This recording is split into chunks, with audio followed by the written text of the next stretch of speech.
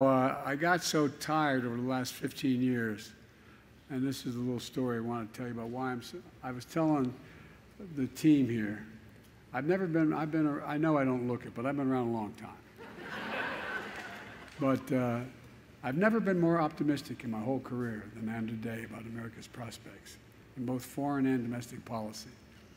You know, uh, went through an awful long time watching companies the last 15 years decide to invest overseas because labor is cheaper, shutting down factories all across America, all across America. And I asked myself, why do we have to put up with that? We're sending jobs abroad and importing products at home. We knew we could change that. I just knew we could change that. We have the best workers in the world.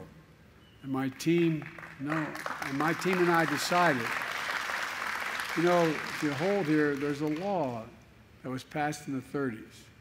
It says any money that Congress sends me to, spend, I can insist that it all be spent on American products with American workers. No president has paid much attention to that in either party. But guess what? I'm paying attention.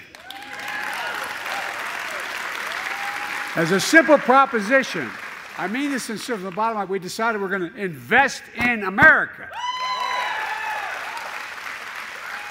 And this company is a great example. They're now poised to be the leader in the wind industry. But a few years ago, they were laying off workers because we weren't investing in them. So we passed a significant climate legislation. Not only moves us away from fossil fuels to cleaner technologies like wind, but it means we're going to make things and new technology here in America. And there's no reason there's no reason why we can't do it. We have the best educated, we have the most advanced technology in the world. Why are we not doing that?